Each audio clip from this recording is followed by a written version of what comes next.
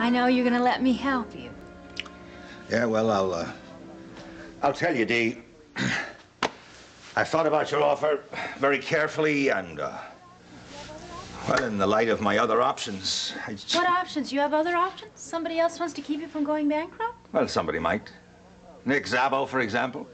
Johnny, he's a crook. Ah, well, he's always played it square with me. But it'd be very messy for Frank if it got out that the father of a senator was borrowing money from somebody with questionable connections. Yeah, you can't do that, Johnny. Well, I can. But I don't choose to. Then I'm your only real choice. No, Dee, you're not. I'd considered asking Rae Woodard. She's worse than Nick. Now, Dee, thought of borrowing money from Rae Woodard didn't appeal to me. Well, I hope you didn't tell her anything. Because, you know, if she knows something, Frank knows it. You can bet on that. I haven't told anybody about my financial... And then Frank would tell the family, and you'd really be humiliated. Dee, I have not said a word to Rae Woodard. Well, that's good. Well, listen, why you go through all this rigmarole when there's somebody who's already family who's ready to help you out with a loan and a promise of complete discretion? Please, say yes. Look, Dee, if I do, uh, it's gonna be a complete business deal, right? Oh, absolutely. You're the borrower, I'm the bank. Uh, the same terms we agreed on, we talked about before, right? Well, we didn't actually agree. I mean, I mentioned some terms and offered you that 83000 but you just were pacing back and forth. Yeah, well, Dee, you'll have to forgive me, but the idea of losing my bar isn't very appealing to me. Well, don't think about it as losing. Think of it as sharing it. Yeah. All right, now, Dee, I'm, uh, I'm prepared to repay you $1,000 a month plus 20% of the profits. That's what you wanted, right? That's it. You're upset. no, Dee. I wish I could afford that luxury. Listen, Johnny, don't worry. We're gonna work together beautifully. Now, look, you promise never to tell Maeve. Oh, cross my heart, not a word. Shake? Yeah. Oh, Johnny.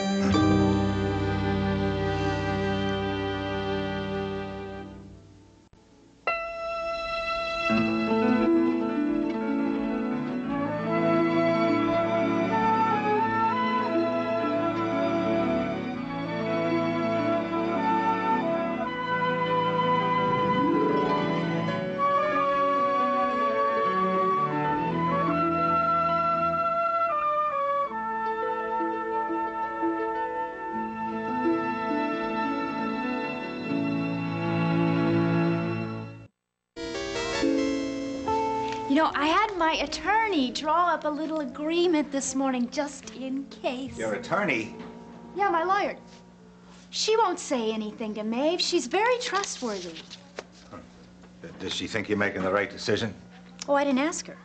I want to use my money to help the people I love most in the world, and that's my decision, not hers. I don't know how to thank you, Dee. Oh, Johnny, you don't have to thank me. Just doing this makes me feel wonderful. Listen, you and Maeve have done more for me than any amount of money can pay ever. Yeah, I know, but 83,000 bucks, Dee. You, you must be cashing in all your investments. Well, I'm juggling a little. Well, you're taking losses to come up with this much cash. Hey, now that's for me to worry about, isn't it? Not you. And I'm not worried a bit. Except about one thing. What? You're still in cocoa, and what if it goes down more before you have a chance to settle with Mr. Grimley? Look, Dee, what can I do? I'll, I'll, I'll give Grimley his money as soon as I got it in my hand, which will be... Tomorrow morning. As soon as you can okay this with your attorney. I think all we have to do is sign it. All right, I'll, I'll show it to my man as soon as I can. God willing, I'll be out of commodities by tomorrow. Hey, Johnny. Isn't it crazy? I mean, who would think poor Delia would step in and save the Ryans? Oh, don't worry. It's our secret, and I swear I won't tell anybody, but someday, tell Maeve, will you? And tell her this is really why my money made me so happy. Sure, Dee, I'll tell her. Someday. I'll see you.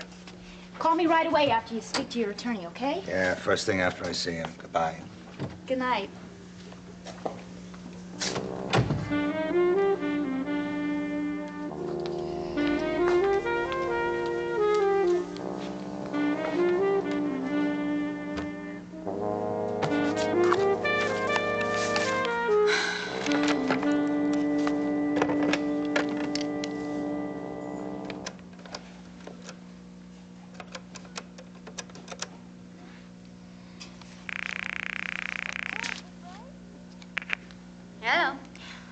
This Rae? Yes. Um, this is Delia Coleridge. Really? Yeah, listen, can I see you tonight? I've suddenly had a fascinating idea. Well, can't you uh, give it to me over the phone? Sure, I, I could, but I don't want to. I see. Well, could you come over here? I certainly can. See you later.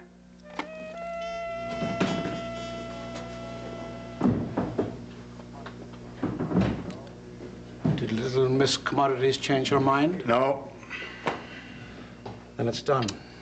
it is done. If I read this correctly, Dee is now 100% owner of Ryan's Bar. Here, check it out. You're my lawyer.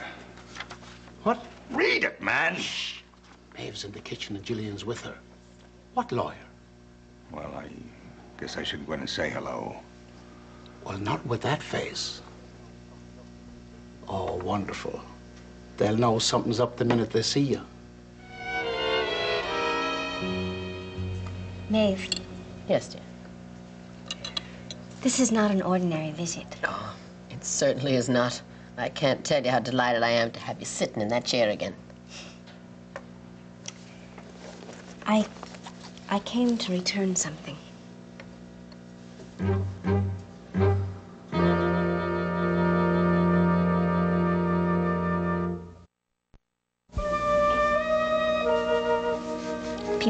Return precious gifts are. are never truly welcome back. Oh, dear, don't say that. Don't even think it. But I feel like I. I can't keep that anymore. But I want you to, Jill. I can't tell you how strongly I feel about that. No. You gave it to me for Edmund because it was his birthright, and I love that. But now I feel like I have to return it. But, dear, there'll be another child someday. Seneca's child. And it will be a Beaulac. anyway, Grandfather Cleary's button should go to your grandchildren. Oh, it breaks my heart to take it away from you. You're not taking it. I'm returning it. I feel that I have to get used to the fact that Edmund is gone. And that Frank is going to marry Rae. The connection between us, it, it's just changed. Oh, darling, the connection between you and the Ryans is based on love. It's never going to change or be broken. You are so good to me. I love you and Johnny and the whole family. But that belongs to your grandchildren. Please, take it. When I gave it to you, I know.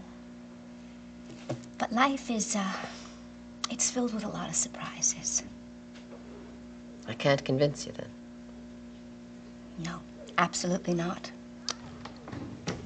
Jillian, Ah, Johnny! It's been such a long time. good to see you, darling.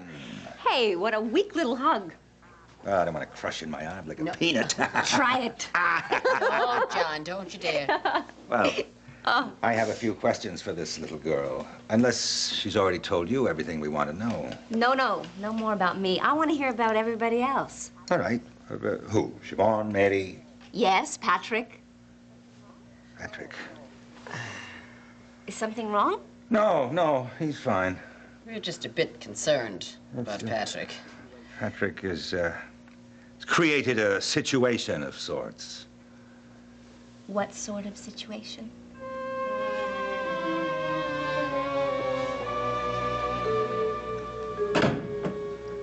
Dave? No. Nancy! Nancy! Oh, Hello, Mama. what are you doing here?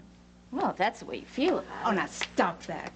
Come back here. Let me look at you. Oh. You've lost weight. Mama. No, you look wonderful. All right. What's wrong?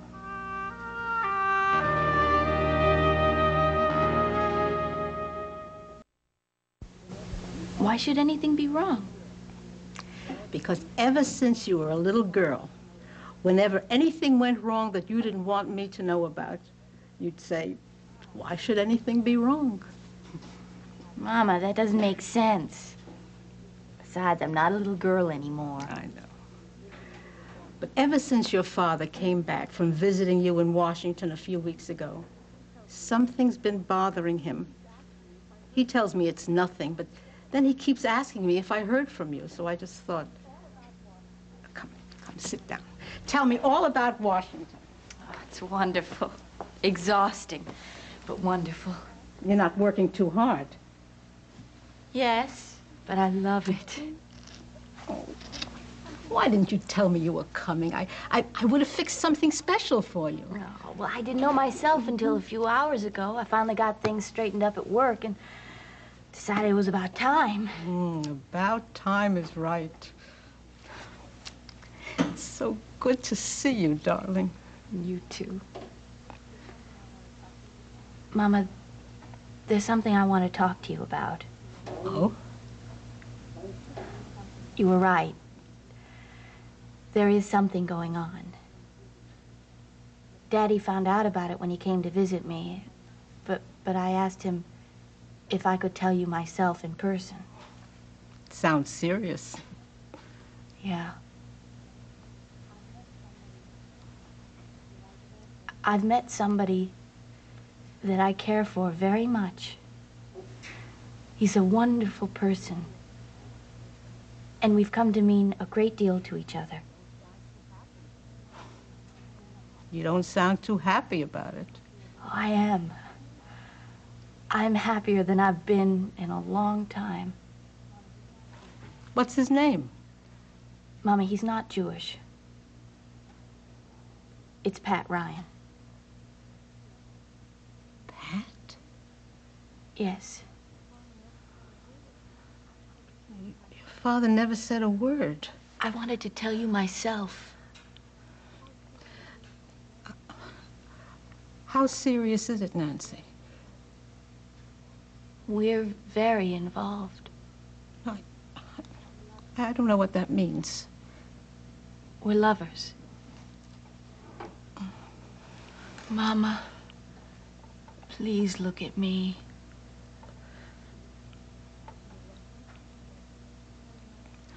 Do you love him? Very much. And he loves you? Yes. When did it happen? It's okay. No, no, please tell me. I don't know. I've always liked Pat. When we got to know each other last summer, I, I knew I was attracted to him, but, but I knew nothing was possible, so I tried not to think about it. But we spent time together. We were friends. It happened. Just like that? We know the problems. We tried to avoid it. One of the reasons I took this Washington job was to put some distance between us. I never knew. I didn't want to worry you. You should have talked to me. Yeah, Nancy, talk to me now. Mama. No, please, I'm okay. Please talk to me. Tell me. Tell me, who is this man? You know Pat? No, I know Pat. I know. I know Maeve and I know Johnny. They're wonderful people, and I know that Pat's their son. And I know the man who took care of you last summer when you were in the hospital. But tell me about this person that you're in love with. He's a very special man. He's kind and bright, gentle. He knows how to make me laugh. I love him. I don't know what else to tell you. Tell me what's going to happen. We try not to think about tomorrow. I know we don't have any future together. I know I'll have to give him up. But I just can't think about that now. It scares me, Mama. I'm sure he must be a very fine person for you to love him this much. He's very lucky.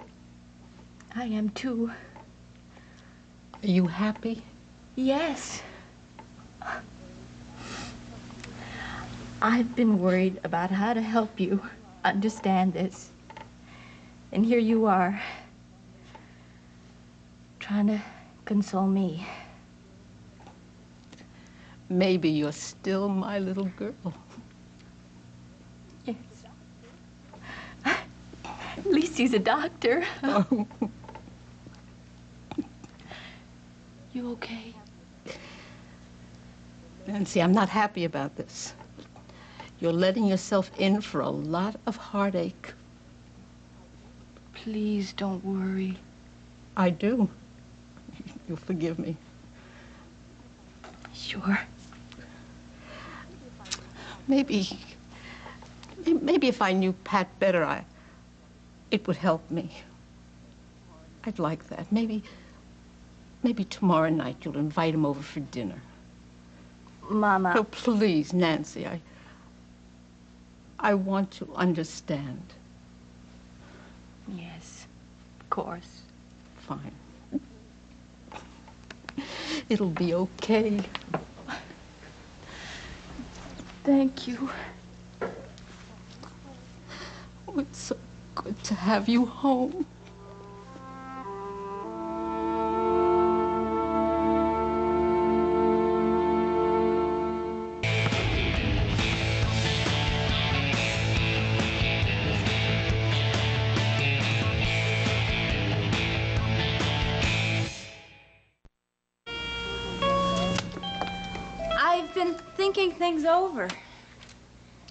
With what goal in mind? I want to help the Ryans. I'd do anything to help Maeve and Johnny. But uh, not much to help Frank? Maybe. How about me? Well, now, if I helped Frank, that would be helping you, wouldn't it? I mean, after all, I can fix fix it so you guys can get married in the church. Or not. All right, Delia. We're both aware of your importance. Now, suppose you tell me what's on your mind. Well, a civil ceremony would really upset Maeve and Johnny, and that bothers me a lot. You know, I think they'd get over it. See, I've been doing a lot of thinking myself, and I've come to the conclusion that I'm ready to try the other route. Outside the church. If I have to. You mean you don't want an annulment? May not be all that important. I don't believe you. You see, I don't believe Frank ever would get married outside of the church. You don't? No. And after all, a senator can't have two wives. All right, Delia. We both know there is a simple solution to my problem. You write that letter for Frank confirming his grounds for annulment. Now, if you love the Ryans so much and you want to help them so much, why don't you do it? Well, I might. That's what I said. I've been thinking things over. Let's see. Have you, by any chance, been uh, thinking over my offer of $50,000?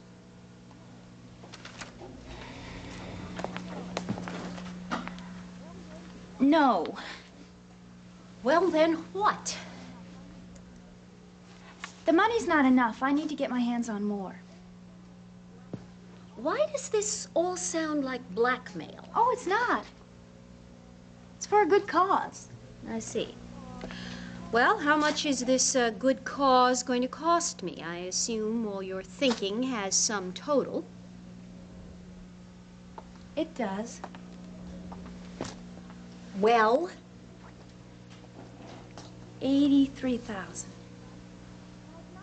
$83,000? Now, it's not for me, mind you. It's for my friends who have a business that's in trouble, and they've come to me for help, and so I have all this money, of course. You know that. Yeah, you've mentioned it. But it's in my commodities, and I'm riding an upward trend now, and I don't want to take it out. So if you could just pay me that money, then I could do this good deed for my friends. And, And Frank would get his letter. right. But the best part of it is, as I see it, Maeve and Johnny would like you a whole lot more. Delia, I am not going to bargain with you over Frank. Then you agree? Oh, yes. When can you pay? When would your uh, friends in need want it? Right away, no later than tomorrow morning. All I'll right. deliver the letter at the same time. Oh, no, no. No, not to me. I don't want Frank to have any idea of my part in this. That letter goes straight to Father McShane. Okay, as soon as I have your check. You can have it right now. If you want, I can write the letter now, too. Uh-uh. You do that at home. You sure? Absolutely. Just so long as you write it tonight. Aren't you glad I called? I mean, all it took was a little patience, and now you and the Ryans can look forward to a big church wedding. And my friends can save their business.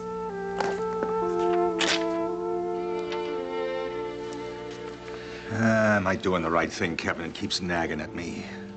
Well, what if she nags us? Giving orders around here. That's what worries me. Orders. I've made this place work for years. You're right there, John. It's a well-run business. There's no need for any change. None. At all.